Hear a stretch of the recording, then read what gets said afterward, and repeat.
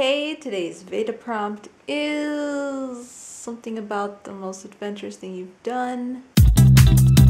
The most adventurous thing I've done to date is probably going on the nine week road trip that we talk about randomly throughout our videos. But that's already all documented on this channel. You can go and check that out. So I'm going to talk about something else adventurous from my past, and that was when I lived in China as a teenager. I just so happened to be going through old pictures today. So this was our bathroom. This was our washing machine here that we would hook up when we needed to use it. As you can see, it's super high tech. This was another bathroom that we had later. This is the shower version of the bathroom. And this is the toilet version of the bathroom. So our legs just really didn't have the muscles for these squatty potties, as we called them.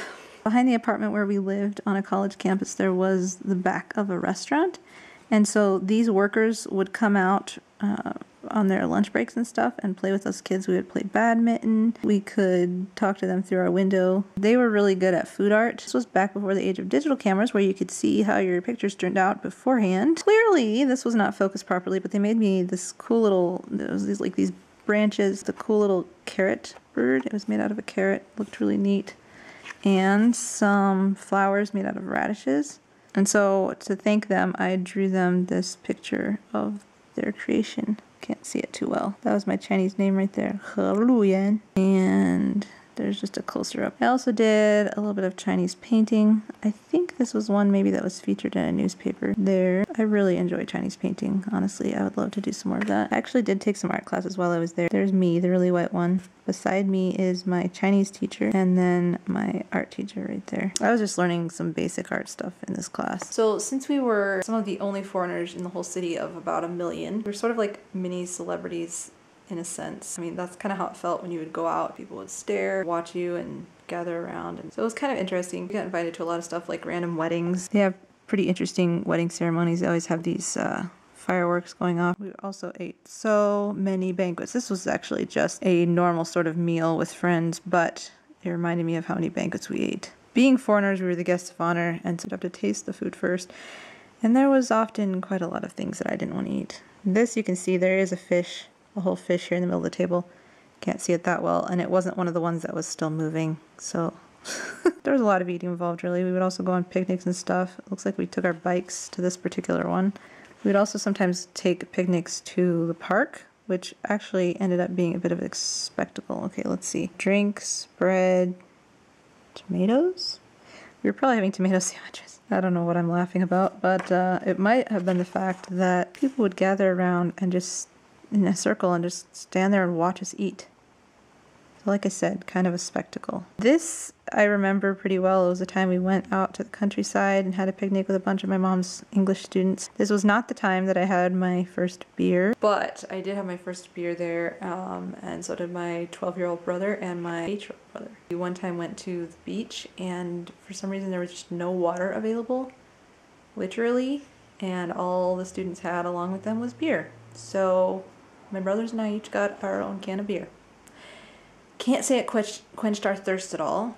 Also didn't really make me hanker for any more of it. I would hang out with college kids a lot since we live on a college campus. This is one of my best friends there. This is in a movie rental place. They just had like little tiny cards with the movies on them rather than actual cases. It didn't occur to me until now, but I guess maybe that was because they were pirated. But most of them were Chinese movies, I guess they can pirate Chinese movies just as well as English movies. I don't know. So more about me hanging out with college kids. We would go to clubs a lot and bars and whatnot. No, I was not old enough to be doing that really, but we had a lot of fun. I didn't really get into too much trouble. We'd go dancing and stuff. Also roller skating. The places that we were in were so dark that I didn't realize until after I got this picture back that where I was sitting was really dusty. And taking pictures with people was really, really common. People would request for us to take pictures with them.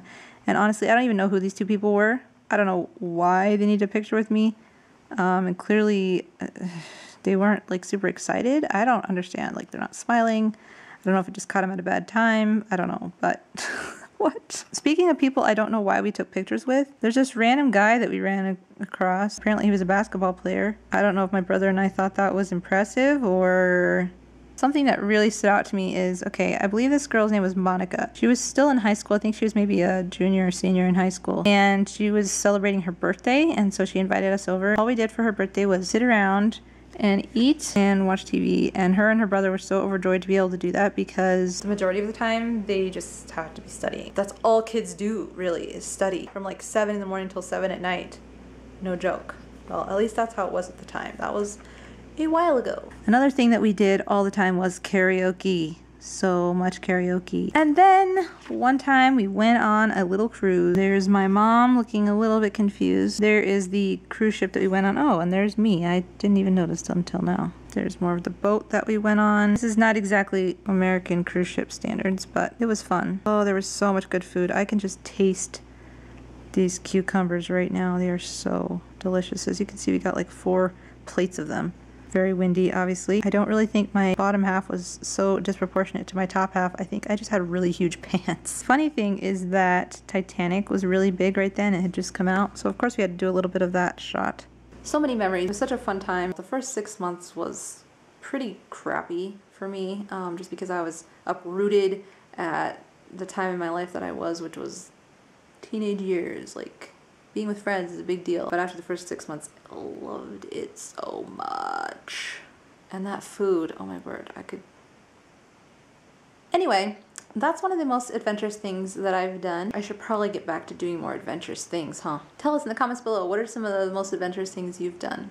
I would love to know. I don't know, I don't know if you remember or if you knew, but we brought a bunch of stuff down here with us to scan and then burn basically. Not take back home with us that's for sure. The stuff from like a filing cabinet that we had had. Also like boxes of pictures from a closet. Basically we're just digitizing everything. We had started this process somewhat back home but we didn't get it done like we wanted to before we came so we said hey we'll bring it down and trash it. We're actually going to pay my brother a tiny amount to do it a lot of it for us because he has a little bit of time and we don't really. This is the pile of stuff.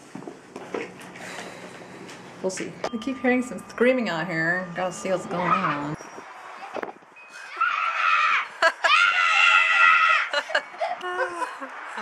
both got super freaked out.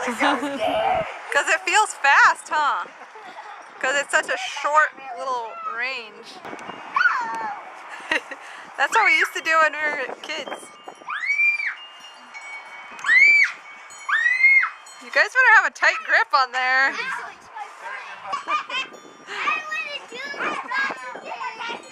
This is happening right now. Right, Francis? Did you try that? It's olla de carne, and this is a traditional Costa Rican, Costa Rican dish. mm. That's it for today. See you tomorrow.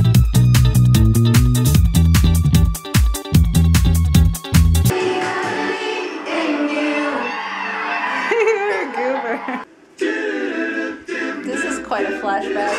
Hey! Hey, what's going on? No, you still have one.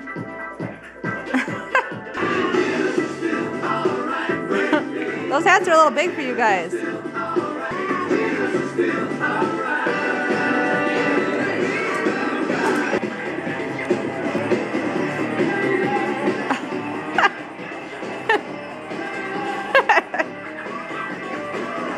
Hey, don't jump around. In the back, no slack. One of these trapped beyond comprehension. I believe that I failed to mention that there's a lack of recognition when it comes to his position.